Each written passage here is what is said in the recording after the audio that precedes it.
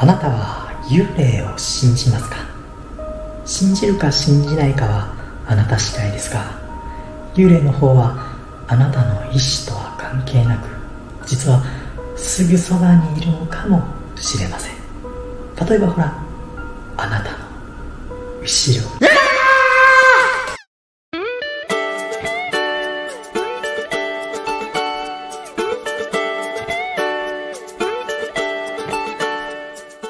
サワディーカカズマンカということで今日はお化けに会いに行ってこようと思います。まあ、お化けってどういうことかというと、タイにもね、いろんなお寺があって、いろんな銅像があるんだけど、なんとね、お釈迦様じゃなくて、幽霊が祀られてるお寺があるということを知って、バットバハーブットって言うんだけど、そこにね、メーナークっていう女性の銅像があるらしいの。で、そのメーナークっていう女性は、悪霊まあ悪いことした幽霊なんだけど、すごいタイで有名な話があって、どういうストーリーかは現地に行って雰囲気のある状態でお話ししたいと思います。一体どんなお寺が待ち構えているのでしょうか？このお話、信じるか信じないかは、話です。ということで今日も行ってみましょう。バイカン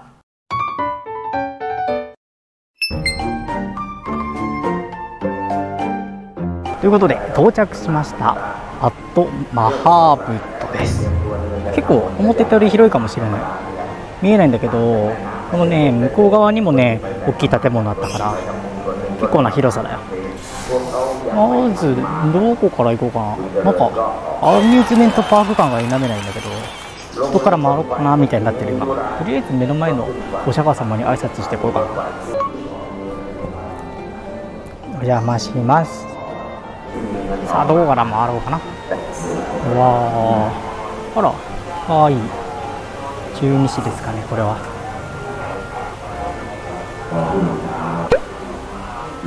うんと。これなんて書いてあるのかなって靴脱いでくださいとか書いてるのかなと思ったらこの辺りって宝くじ売らないでくださいって書いてた。いるんだね。なんか可愛いのいる。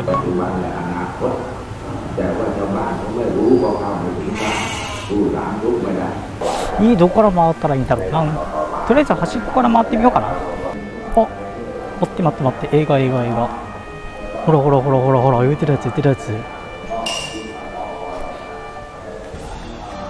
これだよね映画のやつ。へえちょっと面白そう。すごい立派な建物が。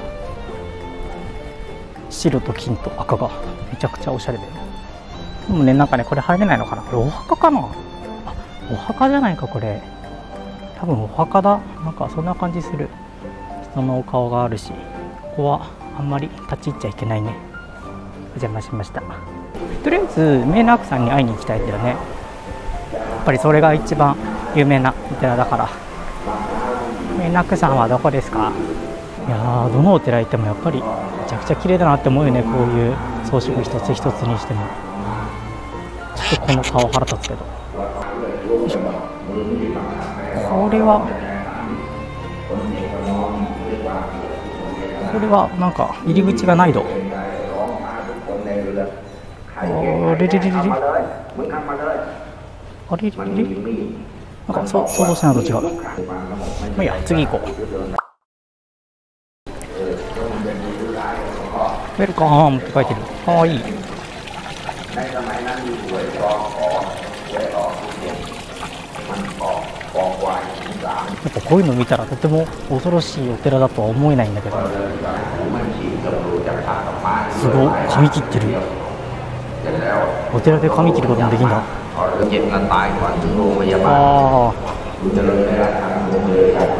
ああご立派。ああご立派なんだけどさ。え？これは違うと思うんだよね。えー、待って待って待って待って待って待って怖っ。これはホラーや。これに関してはホラー。わ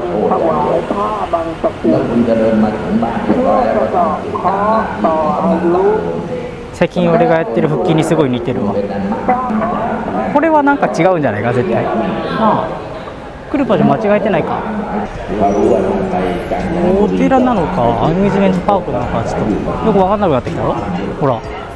このこの辺とかなんか昔懐かしのゲームセンターみたいじゃない遊園地の一角にあるような。あーかわいい。あほいらっしゃいいらっしゃいって言ってる。違うよ。こんなことしてる場合じゃない。メイナークさんに会いに来たんだよ。これかな。いつも一番立派だ。これが本堂？メイナークさんいるとこかな？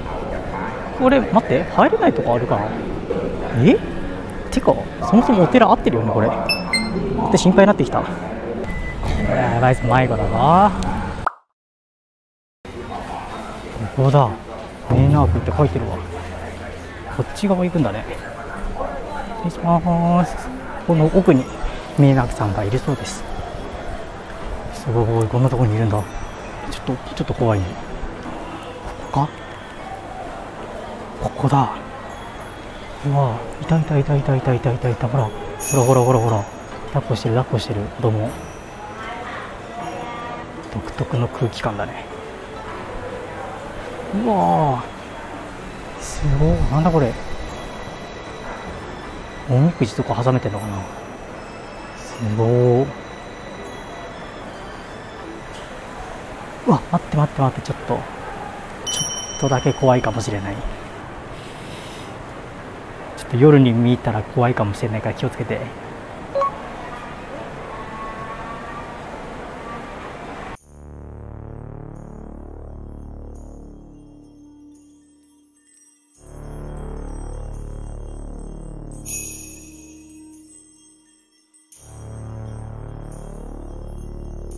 この映画にもなったメーナークのお話なんだけどどういうストーリーかというととある村に村長の娘であるナークという女性がいました。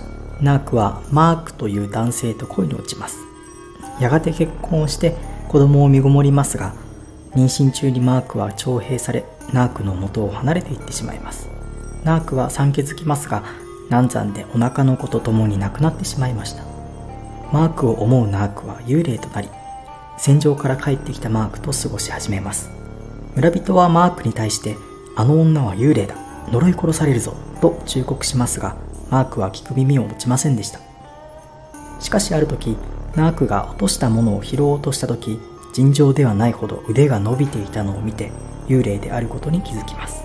マークはワットマハーブットの僧に助けを求めに行きますがナークは凶暴化し村中の人を次々と呪い殺してしまいました。最後は僧によって退治され遺骨は川に投げ捨てられたということです。っていうね怖いねエピソードを持っているんだけど実はねここは恋愛成就のお寺なんだって。罪のない人々を殺してしまったけどでもその中には一人の人をすごく思う気持ちっていうのがずっとあったから。それがなんか恋愛成就につながるらしいよ。だからねカップルの人とかね結構多いここ。カップルの人が一緒にこう参拝することによってより恋愛のなんか感情を高めるらしいね。だからよかったらあのここの名楽像の前であのねプロポーズとかねしていただいたらもしかしたらうまくいくんじゃないかなと思います。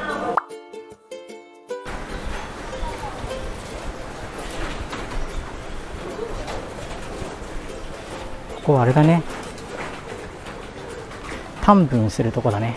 お魚をねこう逃がしてあげるんだって。魚を逃がしてあげることでこう徳を積むっていう。結構ね川沿いのお寺とかあるみたいよ。おでかっ。でっかい亀ある。これこれも逃がしていいの？やばない。いろんな生き物がいるね。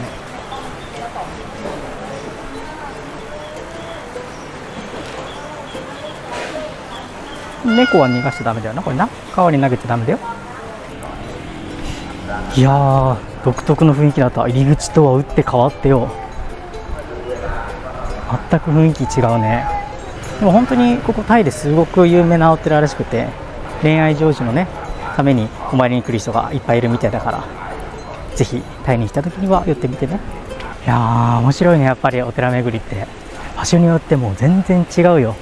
ストーリーも違うしその分雰囲気も変わってくるし。今回はちょっと特殊なお寺にやってきましたこれできっと僕の元にも素晴らしい女性が現れることでしょうこんな感じでいろんなねお寺これからも回ってみたいと思うのでよかったらチャンネル登録グッドボタンで応援よろしくお願いします Kung tidak cocok-cocok natin sa tayo, pagod tayo, kung subscribe dulu na ka. Mata nih.